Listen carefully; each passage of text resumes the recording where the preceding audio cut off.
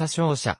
遠い島国からやってきた異国の王女のふりをし、数ヶ月にわたってイギリス人たちを騙し続けた。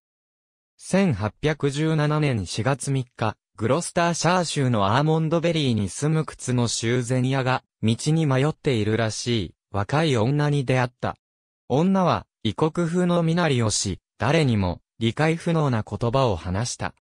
修繕屋の妻は女を貧民視察官に引き渡し、さらに貧民視察官は女を地元の治安判事、サミュエル・ウォーラルのもとに連れて行った。ウォーラルも、そのアメリカ人の妻エリザベスも、彼女の話す言葉が理解できなかった。彼らが判別できたのは、彼女が自分をカラブーと呼んでいること、そしてなぜか中国の絵画に興味を示すことだけであった。ウォーラル夫妻が女を町の宿屋に連れて行くと、彼女はそこにあったパイナップルの絵を見て、パイナップルのことをアナナスと呼び、さらに床の上で睡眠をとることを主張した。サミュエル・ウォーラルはこの女を小敷であり、不老罪で拘束して、ブリストル監獄に収監すべきだと判断した。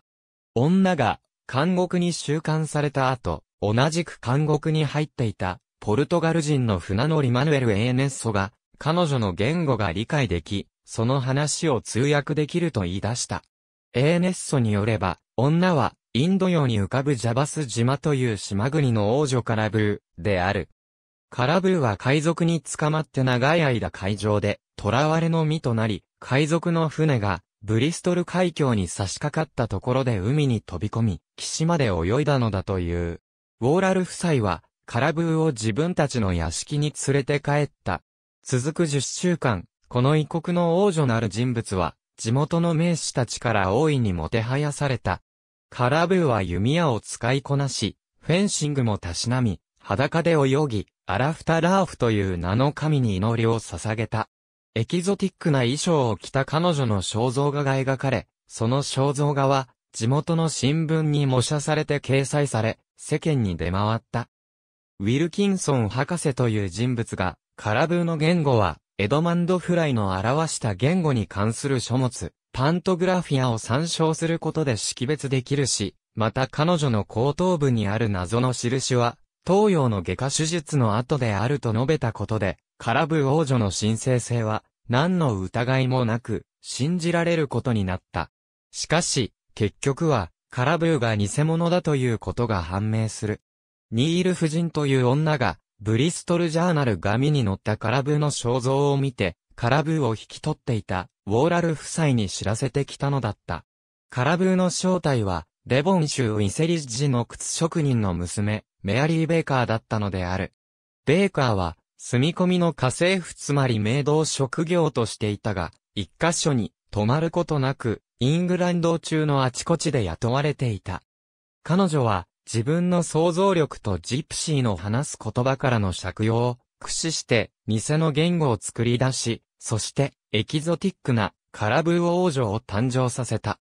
また後頭部の肌に残る謎の印は幼少期に貧民が利用する診療所で受けた肌に火を当てるインチキな民間療法でできた火傷の跡だった。イギリス中の新聞が世間知らずない中の中産階級が偽王女を艦隊した間抜けぶりを競って報道した。